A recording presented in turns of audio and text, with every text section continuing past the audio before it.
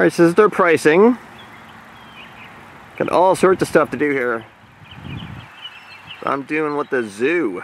Hey everybody, Tom here for Tom's Road Trip and I'm in Albany, Georgia and today I'm visiting the Chehaw Park and Zoo. This is a small community zoo located inside Chehaw Park. There is a 350 fee to park and $8 entry fee for the zoo. Now I purchased my entry fee at the little gate at the front. I was given a blue wristband that shows that I'm supposed to be inside the zoo, that I paid my entry fee.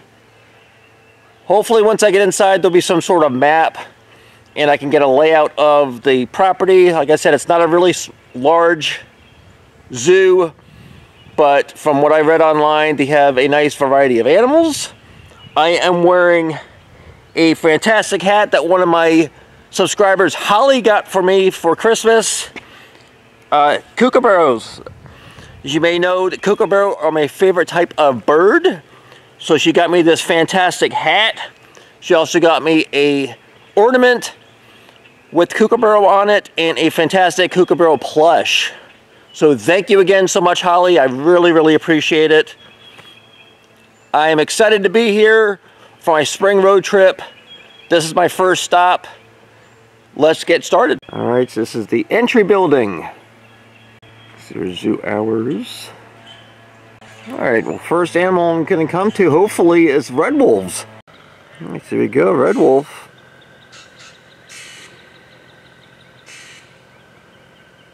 Red wolves are so cute. Got some information here about the red wolf and her cubs.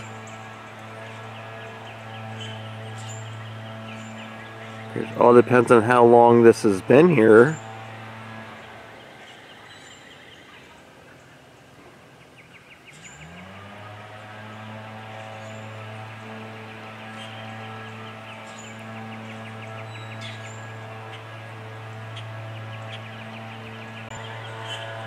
This is their habitat. On a boardwalk. And I see a red wolf. Hi, puppy. Yeah, look at that. Very pretty. Yeah, look at that. Very, very pretty. Remember one of the other zoos I was at last year saw a red wolf couple and their and their cubs, and the cubs are pretty young. And red wolves are the only large carnivore found solely in the U.S. Critically endangered. Hi, sweetheart. How you doing?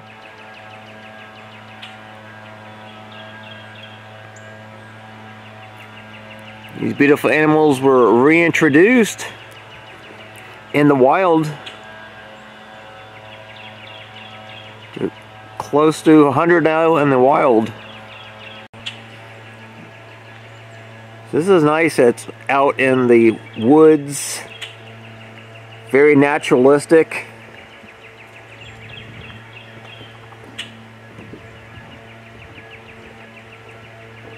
The zoo literally just opened, so hopefully the animals will be out.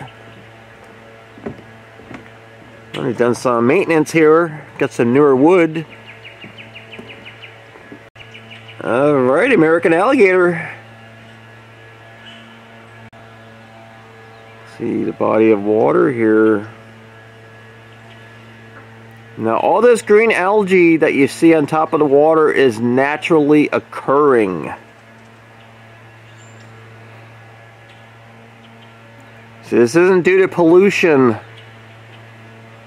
You just green algae only grows if it's a healthy body of water and has the same and it contains certain nutrients.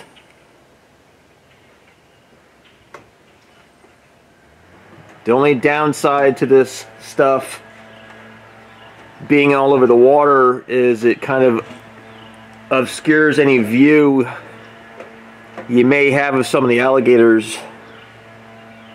But I do see one of the alligators. All right.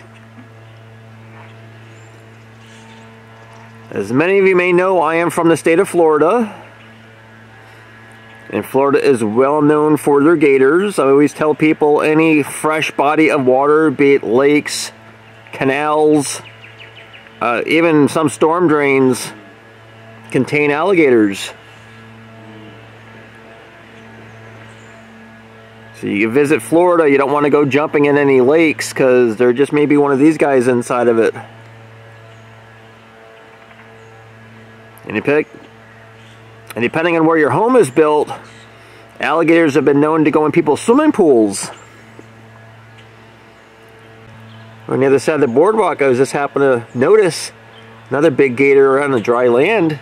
And pretty close by, you get another alligator all covered in that green algae. Woo! There's another one coming right now. Look. Yeah. This one was just making a lot of noise. Is he possibly thinking that I'm here to feed them? Yeah, look at this one. Hey alligator, how you doing?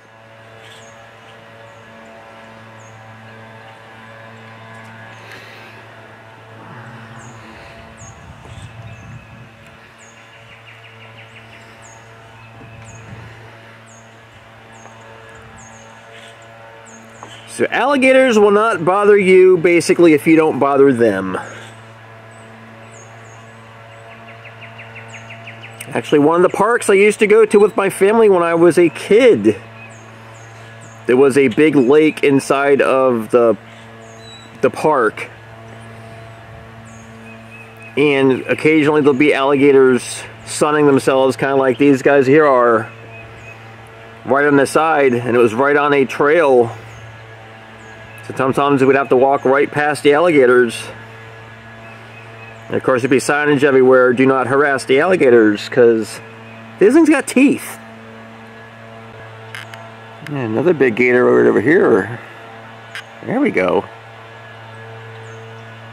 Looks like the biggest one that I've seen over here so far.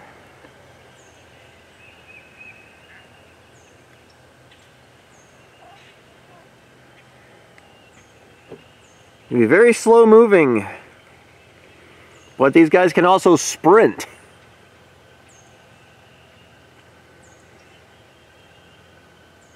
And one thing that Florida has is a lot of golf courses. And you may have seen some videos on YouTube featuring large alligators just waltzing across the golf courses.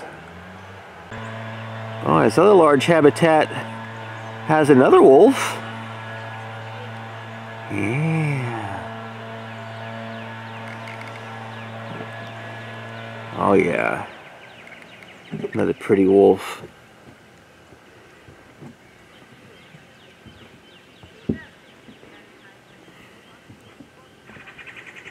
Yeah, look at that.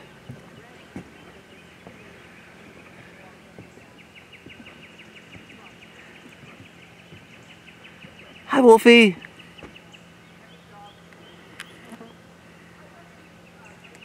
How you doing, baby? Oh my gosh, these are such pretty animals.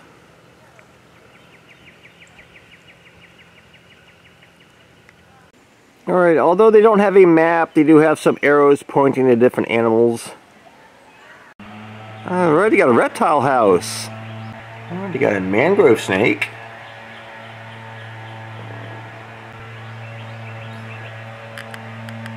Do see the snake. And off to the side.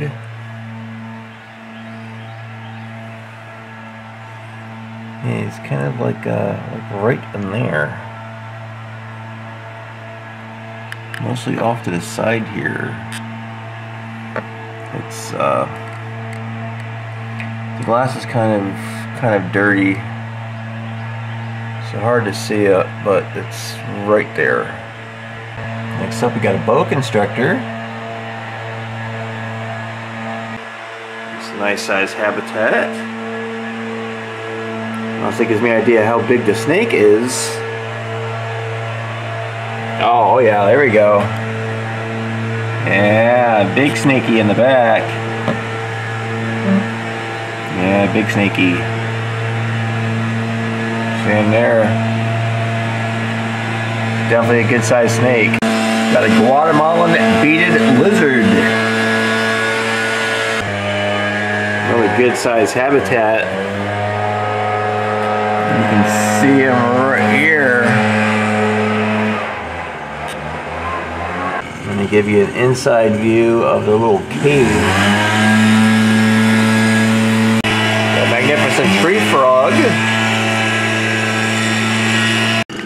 There we go. Trying to block out the shadows and the glare. Wow.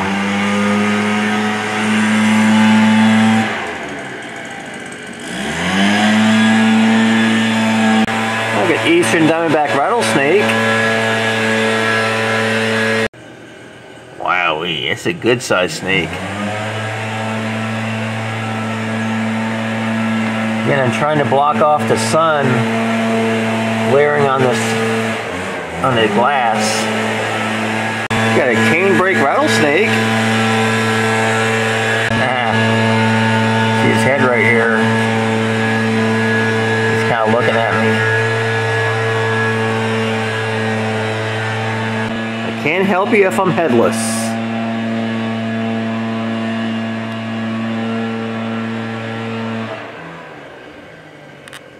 Got a western rat snake. Wow. That's a nice looking snake too. Got a pancake tortoise. There we go. Ah, I see one. See how flat they look, you know. These very flat tortoises. Hence the name pancake tortoise. Alright, we got a Sonoran desert toad. Wow, that is one giant toad right there. Wow. Alright, it says the Red Wolves. And the boardwalk there took me over by the alligators. See the main entrance. And this is the reptile area that I just was. So now I'm going to be going this way. However, I'm going to wait a little bit for this guy with the with the blower clearing the pathway. Because more than likely this loud noise is going to be freaking out the animals. Alright, so while I'm waiting for the guy with the leaf blower to finish up, I'm going to go check out Ben's Barnyard, which is just to the left of the main entrance. Because walking up here, I saw a cow. So there's a hand wash and sink. So it's a good idea to wash your hands before touching animals. That protects the animals, and then of course you want to wash your hands again after touching the animals, and that helps protect you. Oh boy. Always enjoy seeing the goats. Yeah, they are having their morning breakfast. Looks like a little snack of Timothy hay. You typically find Timothy hay in grocery stores and pet stores. This is also suitable for bunny rabbits, guinea pigs, and a couple other critters, and also goats. Love to hear from people if you have goats in your yard.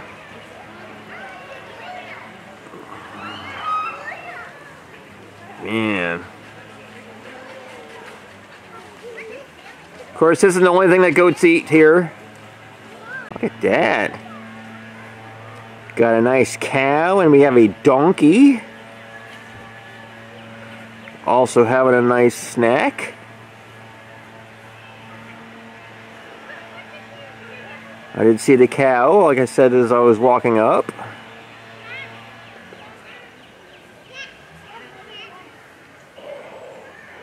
There's no signs up here that says what type of goat, donkey, and cow these are. This cow looks like it's got like a sort of a, a fuzzy coat to him. Of course, it's going to be spring in a few days, so it might just be its uh, winter coat. Always enjoy the goaty goats.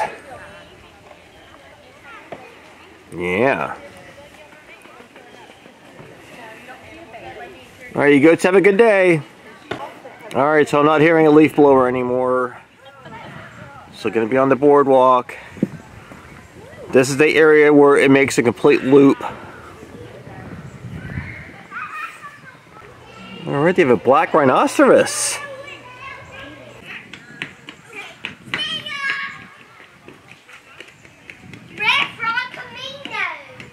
Ah, there we go. It's hidden behind this big old tree stump. Couldn't see him at first. Very, very nice. Hey, Mama, Mama, come here. Very, very, very nice. Come on, right here, sis. Can't see. In, in here, Hudson. Beautiful animal. More information about the rhinos. Oh, they have an aviary. Pink pandemonium. These are the plastic pink flamingos that are known in the state of Florida. Usually senior citizen communities, they have pink flamingos in their yards. Alright, we're going to see some sacred ibis. Waldrapp ibis. Lesser flamingo. Alright, here we go. My second favorite type of bird, the flamingo.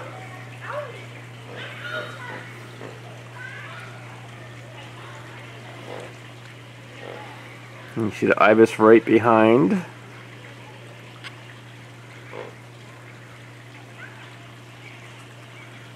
These are a lot larger than the white ibis that I see throughout the state of Florida in the wild.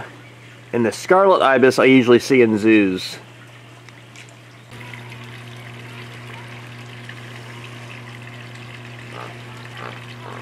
You can hear sort of the, the grunting noise that they make.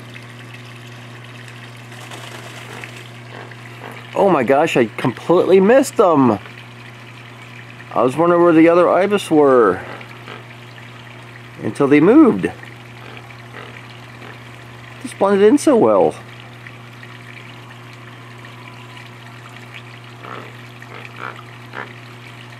So the Waldrapp ibis, which is these two, these are the ones that I see the least amount of times. This might actually be either my second or my third time seeing them.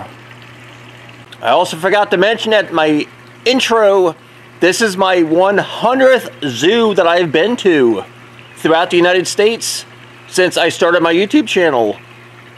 So I've been to 100 different zoos so far. Still a lot more to see throughout the United States. And I've also been to 38 different states so far out of the 50. I'll be visiting several more new states this year on my upcoming road trips. I have my major road trip coming up in May, and then my second larger road trip going to be late summer, and then I plan to have a second mini road trip around Halloween time frame. So there's be more stuff to see. Oh boy, African spurred tortoise. And I do always get excited to see African spurred tortoise. Many of you already know, but for the few that may not know, I actually have a African spurred tortoise or sulcata tortoise that lives in my backyard. And his name is Sheldon.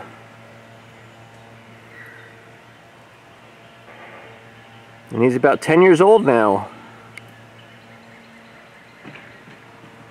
We got a black-tailed prairie dog. See, prairie dogs live in holes. Oh, I do see one right here. Yeah, there we go.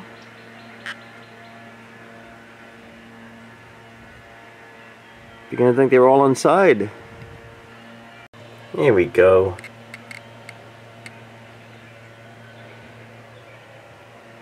Also cute critters. Alright, so following the pathway around, come to this next habitat area. Alright, we got cheetahs. Got one of the cheetahs right here on the rock.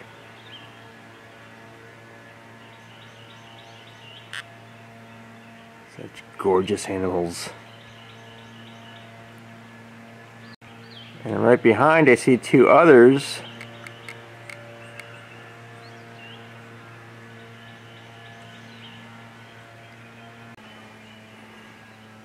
Yes, you're really out here in the woods.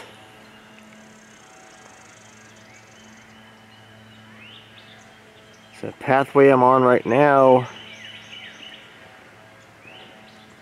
Gonna continue on. Alright, we got Bactrian camel, or a two-hump camel. Because the camels are getting a drink of water. More information about the camels. My mistake, I thought this was two different camels. It's one. See, this is a male.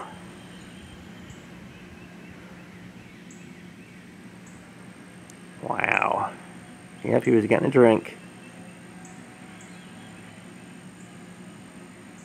What's up, sir?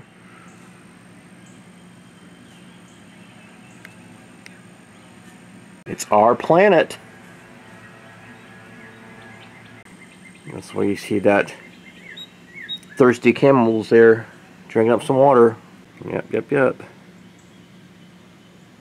Now you actually see his humps are there, but they're kind of folded over.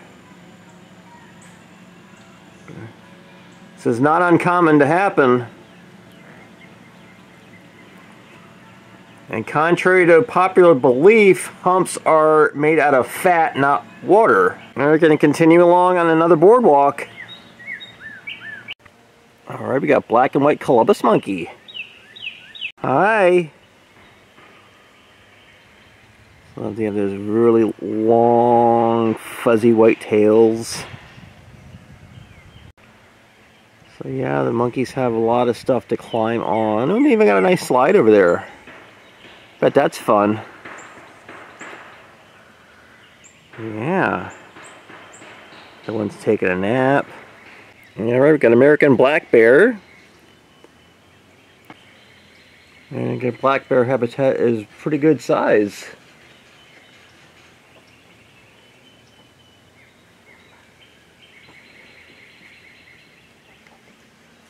So I'm not currently seeing the black bear. I think that's because there's some workers in there doing some maintenance.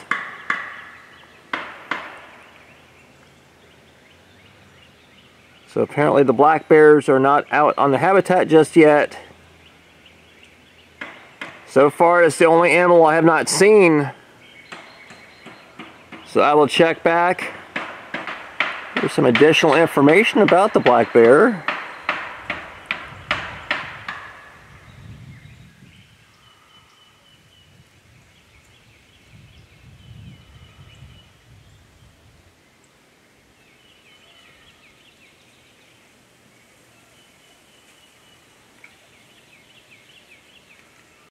All right, so just past the black bear habitat, we come to this kind of a fork in the road, either left or right. So I'm gonna go to the right first. I'm not sure if this is the actual rounded portion that I'm supposed to go to. I'll find out when I get there. All right, end of this boardwalk section. We come to Sandhill Crane. Oh, this is nice. Here we go. There's the sandhill crane.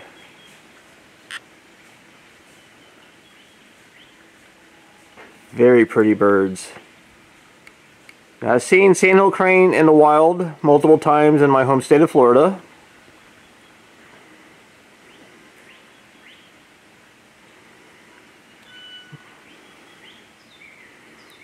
Very, very pretty birds.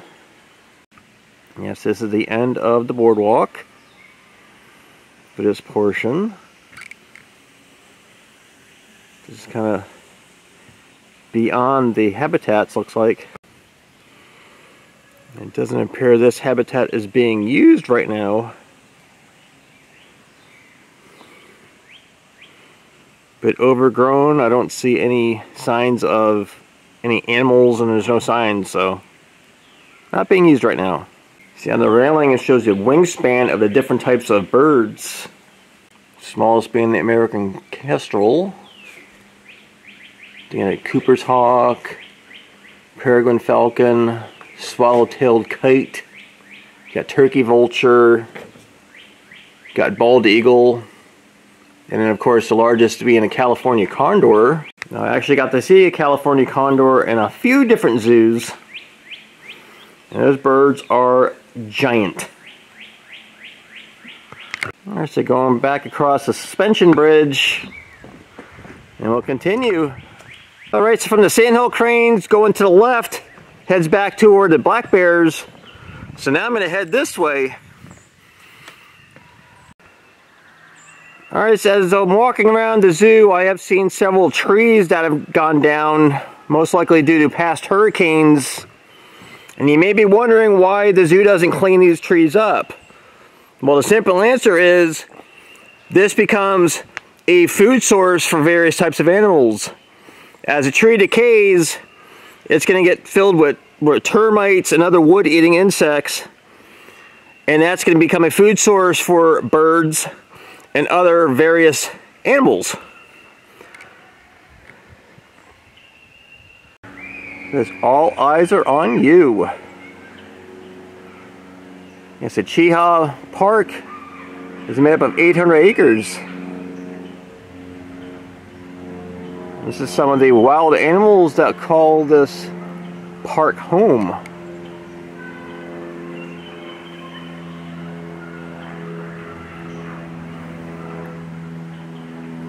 Oh boy, red ruff lemur.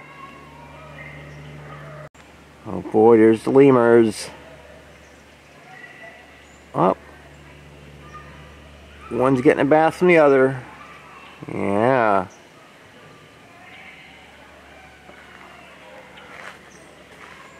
I actually like the red ruff lemurs more than I like the ringtail lemurs. Not that I don't love the ringtail lemurs, since I love the coloration of these.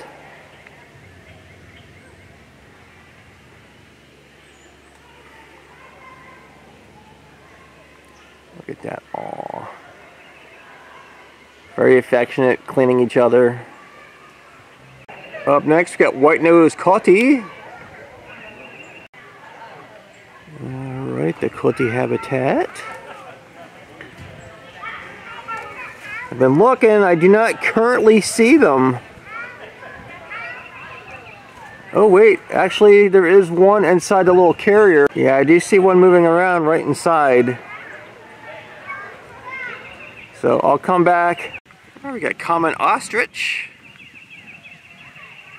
plains zebra, and emu. Here we go. This is a female of the bird. You can tell by the dull brown plumage. There's a nice plain zebra. And I see the emu all the way in the back. There we go. there's the emu. See the ostrich just kind of moseying around, picking at stuff.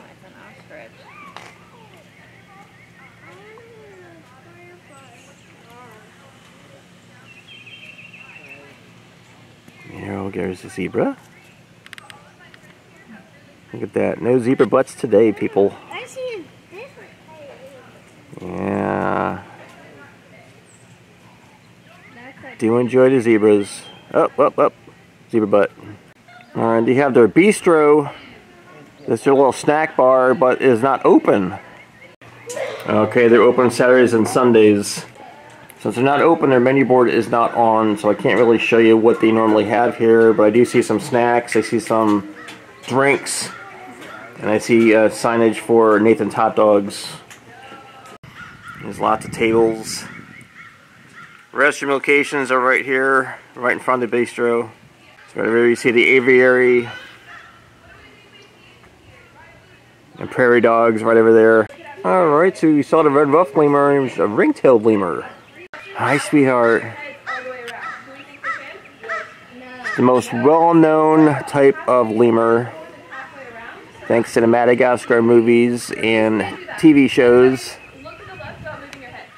Yeah, super fuzzy too.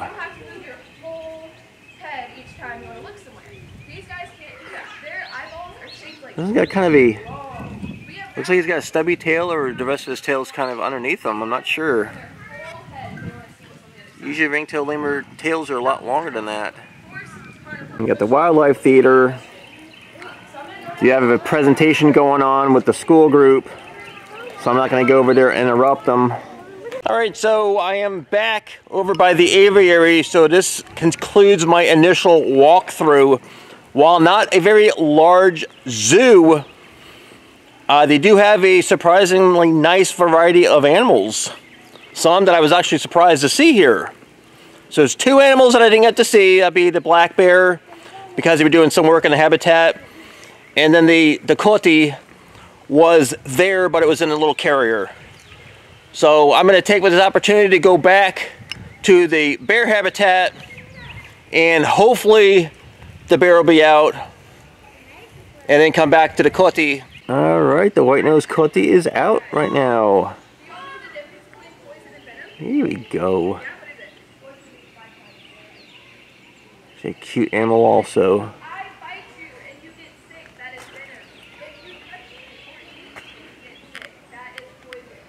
Oh, some sort of snack. Yeah, they got some food inside a little ice tray. Hi. Anytime you go to a zoo, if you don't see the animal the first time, I always recommend coming back at least once, multiple times if it's an animal you really, really want to see. Passing by the red ruff lemur again. I missed it, but they were just making some really loud noises. Yeah, you can hear the other one. Hi, Fuzzy. Hi, Fuzzy. Super Fuzzy. You super fuzzy, huh? Yeah. Super fuzzy. Super fuzzy. On my way back to the black bear habitat, I see the emu. I was hanging out in the back. Oh, there's two of them. Yeah, here we go. Or three. Okay. And you see a little, you can hear the throat thumping that they make.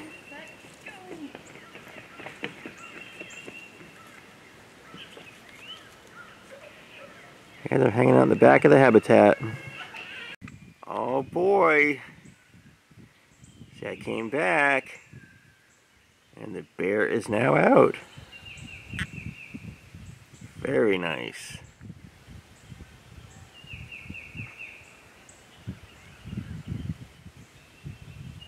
Again, it pays to come back.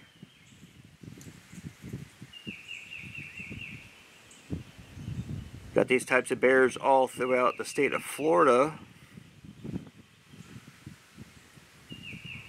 Well, not 100% all throughout, but mostly the northern portion. Alright, so I am heading back up to the front. They do have a very small, limited gift shop right here at the beginning of the entry area. There we go. This is a nice variety of plush. Do have some shirts, umbrellas, and they have some magnets. Since I'm wearing my gifted hat, and I don't see hats here, I'm going to see about getting a magnet. I like this one. You guys know how I love zebras. And $2 is not bad. All right, so this is going to wrap up my visit to the Chehaw Park Zoo in Albany, Georgia. Had a wonderful time. Like I said, I was very surprised to see cheetahs and the rhino. Was not expecting that.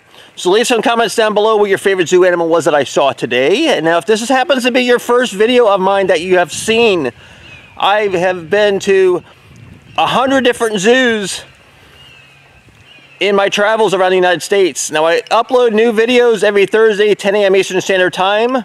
So if you like zoos, I go to zoos, aquariums, theme parks, amusement parks, state and national parks all around the United States. Hopefully I'll expand from there. This has uh, been to 38 states so far at the time of this recording. So thank you guys for watching and I'll see you next time. Bye.